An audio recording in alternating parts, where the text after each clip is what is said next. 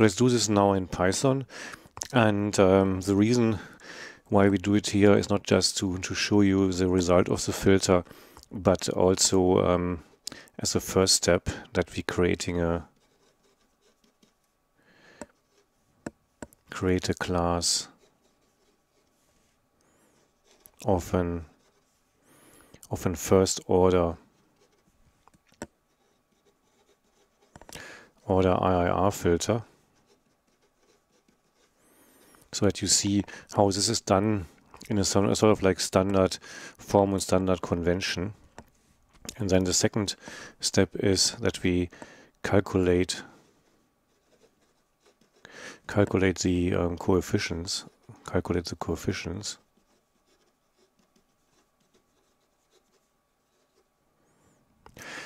And um, and then we see already that these coefficients are complex complex complex valued which is actually something which um, nobody wants to do in in a real implementation. And so therefore we see this just an instructional example. And then the third one is that we that we test the filter.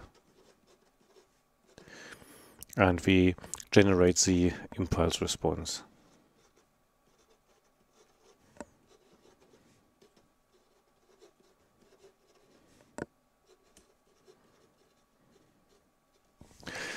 these are the um, three steps here. And so as I said, this is an instructional example here um, because because the this filter would never be used in a real application, but it's very useful to see how this is done. Anyway, so we can later on put real coefficients in there. So let's just write down this long formula here so the transfer function.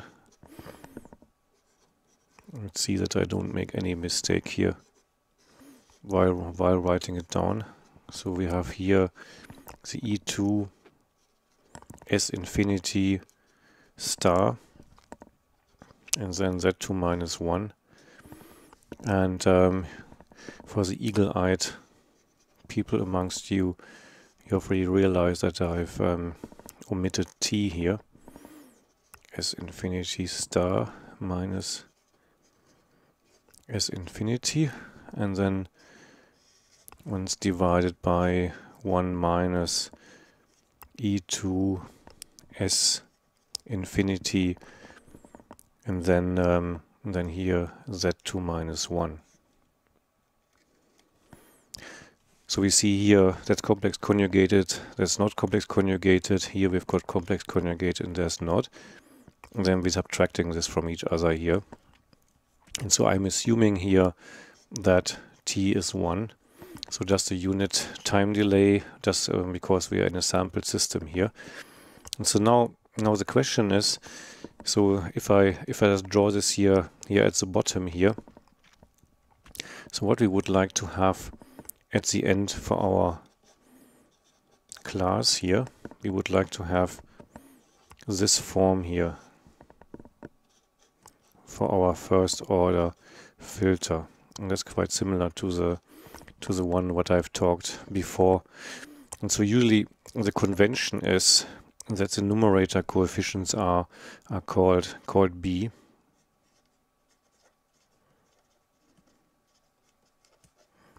And um, that's the denominator coefficients without the exponential in it, that they are called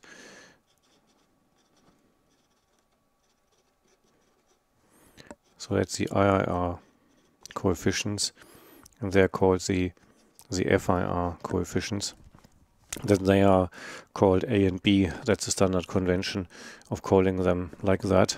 And um, so that turns into a data flow diagram, just like what I've shown in the introduction, so that we have a summation unit here the only difference is that I've um, that I don't carry the exponential with me about, and um, so we multiply this here with minus a. Remember, this plus turns into a negative sign here. And then this is here our our output. So that's here then y of n and this is here b.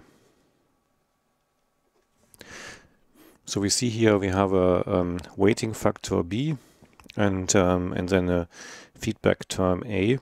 And um, so now if we I left this gap here between between this formula and that formula here so that we are able to identify what we have here. And so so we see here this term here. So this first order first order filter here. So that's the first order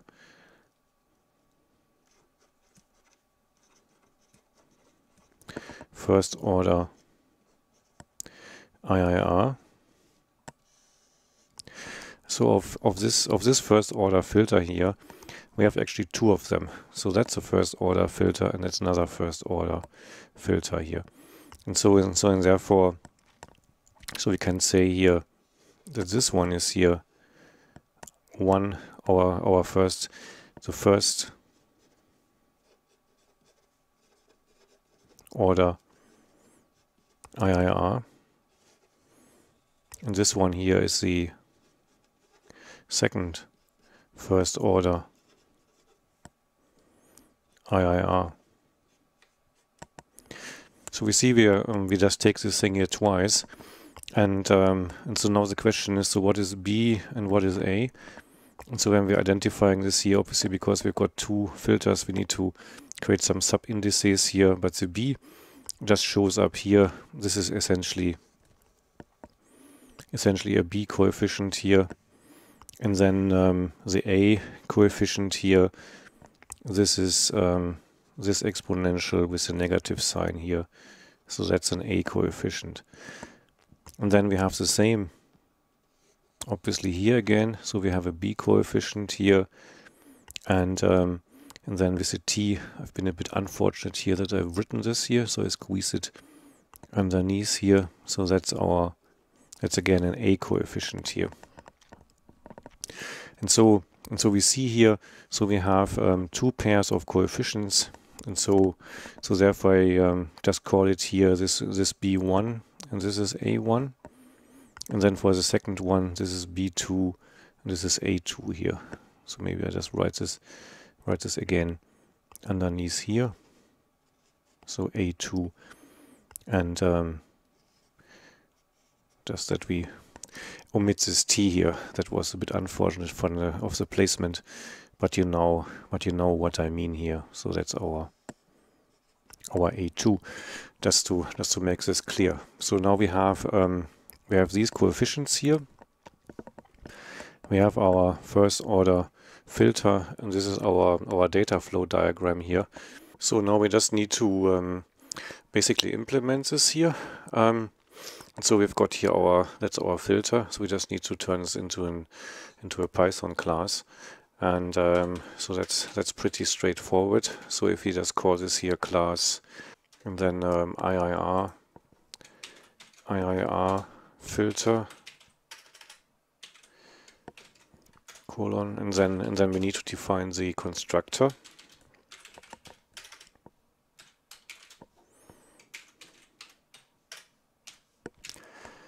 so that's underscore b underscore a. So these are our our coefficients here. So a and b.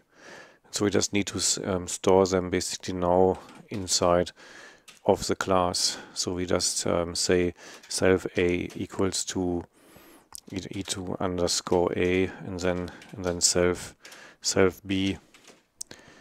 That's equals to to um, underscore underscore b. And um, so now we need to take care of the buffer here. So we have a buffer. And so again we we say so and we set this just to zero. And with that we are creating essentially this variable here here with that. So now now the next step is so how do we do our filter here? So that's also quite quite simple. So if we call this here filter and um, and this, this then then just gets gets one input variable here x.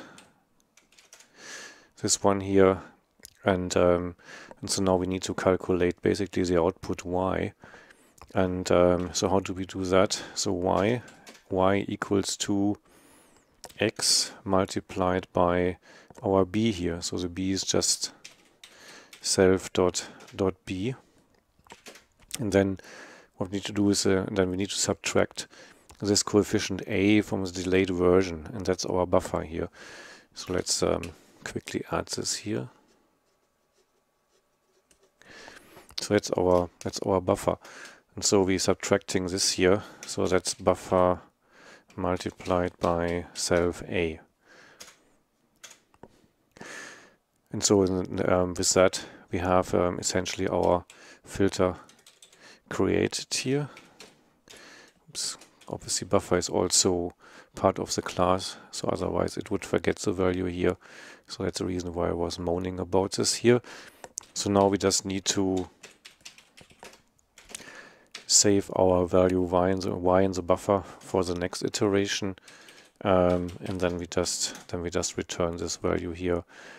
And with that with that we have created our our first order order IIR filter here. So that's a first order IIR filter.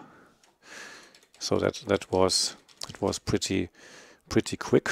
So now we need to get these coefficients in there. Um, remember these are here the coefficients b1 a1 b2 and um, and a2 so there's um, there's nothing dramatic about these ones here.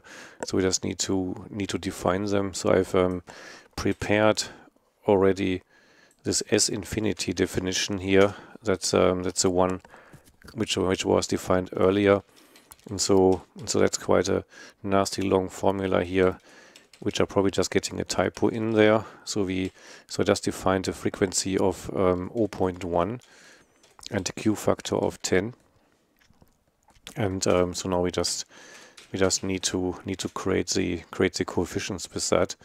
And so then the um, so the b1 b1 coefficient is just um, now here the, the complex conjugate of this of um, of si and then we're dividing this here by by again the um, complex complex conjugate of si and then just um, subtracting si from it. And that's basically our our b1 coefficient here. So then the a1 a1 coefficient here is um, is this here the negative of the exponential of the complex conjugate here so we've got the x exp and then np conjugate of um, si. And so with that with that we have um, we have our um, coefficients generated for the for the first filter here. And for the second one that's just very easy that I just um, steal this one here and call this b1 b2 and I just get rid of the of the conjugate here that's the only thing what's the difference between these two So with that, with that I've um, created the, the coefficients. So if I haven't done any mistake here, then um, we should see B1, A1. These are our filter coefficients here. And we see they're both complex valued as expected. Um, it's not, not very practical for later use, but for now this looks exactly right. And so and so and therefore so we see here they're also somewhat like complex conjugate here. And so, so now we've got these um, coefficients set, and so now we can just feed them into our into our IIR filters. And so, so we need to create create two two filters. That's our first filter here. That's the second filter. Remember here, that's that's one filter. That's another filter. And so and so we just need to create create two filters here with this IIR filter and then we need to the arguments here b1 and um, a1 so that's the that's the one filter and then we just create another filter here of b2 a2 And with that, we have got that filter created and the other filter created here. And um, so if I rerun this here, then we should get get our instances here. So these are the two different filters created here. So that's all looking good.